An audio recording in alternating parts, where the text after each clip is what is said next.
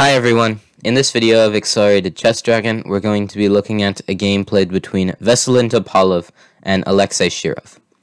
This was played in the 2001 Advanced Chess Exhibition in Leon, Spain, and without further ado, let's look at this game. Topalov starts the game off by playing the move e4, and we have e6 by Shirov. d4 by Topalov, and now d5. The French defense, knight c3, knight f6, bishop g5, uh, and after d takes e4, knight takes e4, we've transposed to the Burn variation of the French. Uh, here Shirov decides to play the move knight bd7 and knight f3 by Topalov, just continuing development. Shirov here plays bishop to e7, and now we have knight takes f6 check.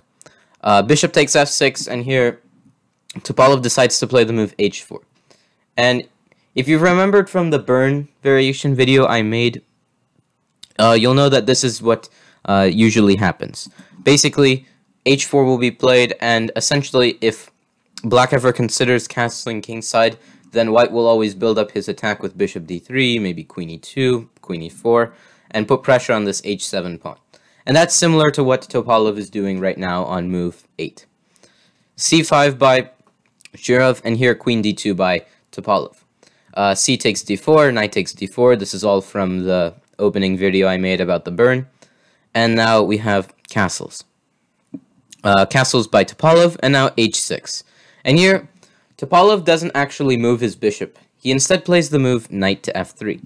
And why does he do this? Well, if you capture this bishop on g5 with h takes, then after h takes g5, um, the best move is actually to play e5. But let's assume that you try this move bishop to e7 as black.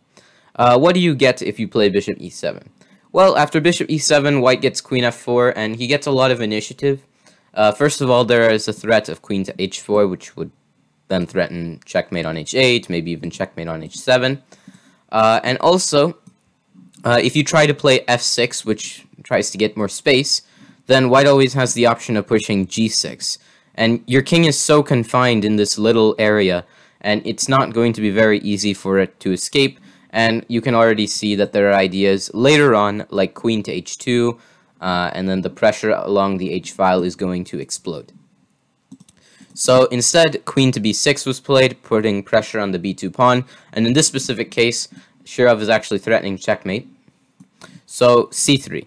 Uh, Topalov still doesn't want to capture on f6 and perhaps alleviate the tension uh, on the b2 pawn. Instead, he's just blocking the bishop's diagonal by playing c3 e5, um, Shirov is still not going to capture the bishop because he knows the same idea is present.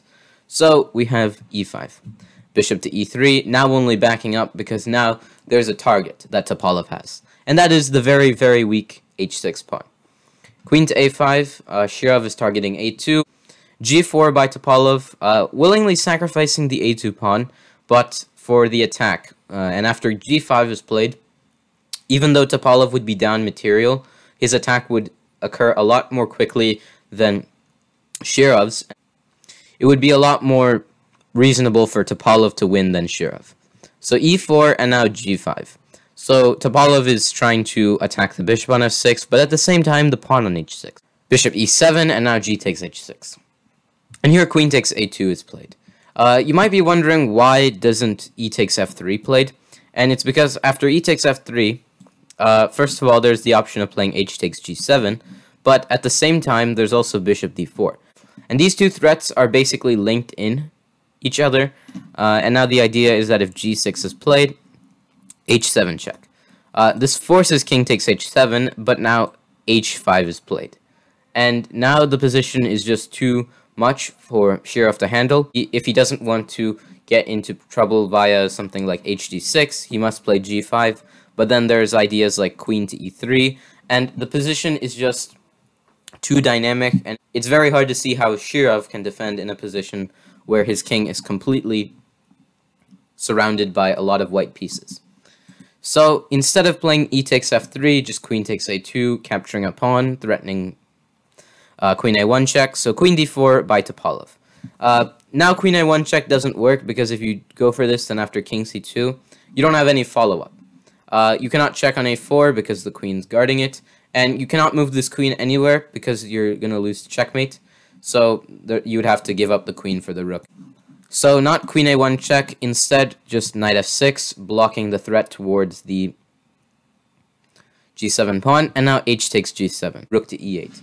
Uh, sidestepping because obviously your rook was attacked, and now bishop c4. Attacking the queen and forcing it to check or move away. Uh, in that case, then uh, Topalov would save his knight on f3. So Shirov plays queen to a1 check, and we have king to c2. Queen a4 check, and now bishop b3. The idea is that if queen takes d4, the knight takes d4, and Topalov saved his knight. It's no longer being attacked by the pawn on e4 anymore. And after king takes g7, after the dust has settled, we notice that Shirov has four pawns, and so does Topalov. But Topalov has the advantage because of the amount of control his bishops have over the position. And now Topalov is actually going to win material. So he plays rook dg1, and now we have king to h7.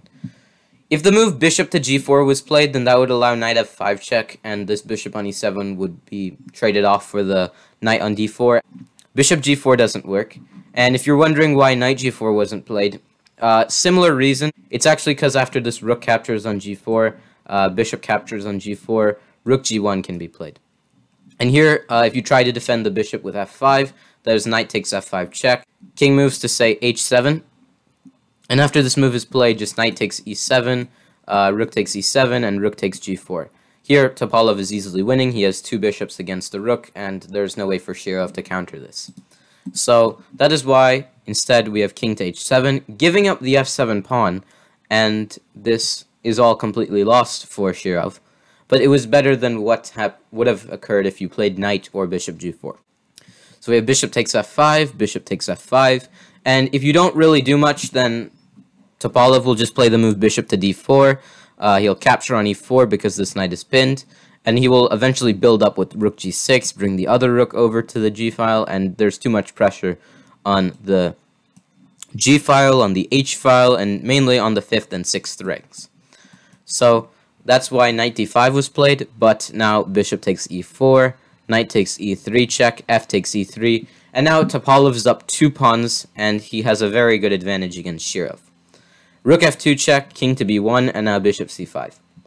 Threatening the e3 pawn, but that's not what Topalov is concerned about. He plays rook g5, and now he's attacking the bishop on c5, but he's also threatening rook to h5. So bishop takes e3. Uh, another threat is that if, let's say that Shirov played bishop to f8, there's the idea of rook g1.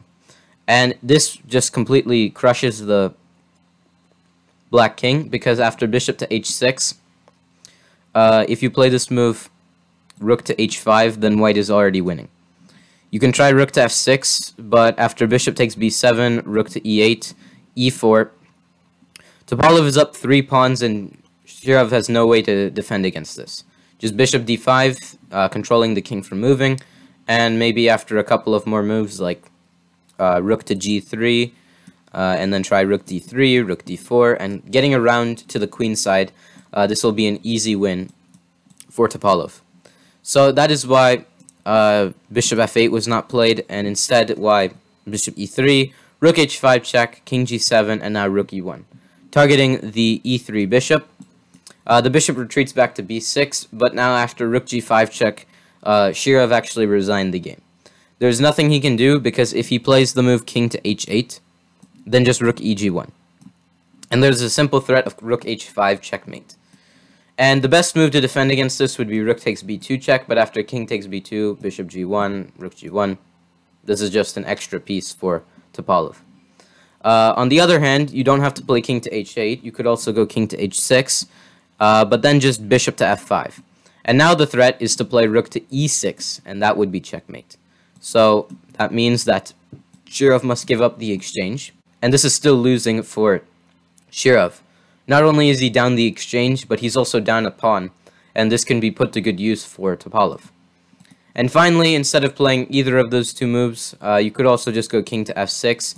But after bishop d5, uh, rook will come to e6, and there's really no way to defend against it. Basically, these three pieces are more powerful than these three, uh, this rook hasn't even been activated yet, and this rook may seem a bit active, but in reality, it's not really targeting anything. Uh, whereas if you look at white's pieces, they're already getting into mating nets against black's king. So black would be completely hopeless, and that is why Shirov actually resigned the game after the move rook g5 check was played here. So I hope you all enjoyed the video, and if you have any suggestions or feedback for me, please let me know in the comment section, and stay tuned for more chess.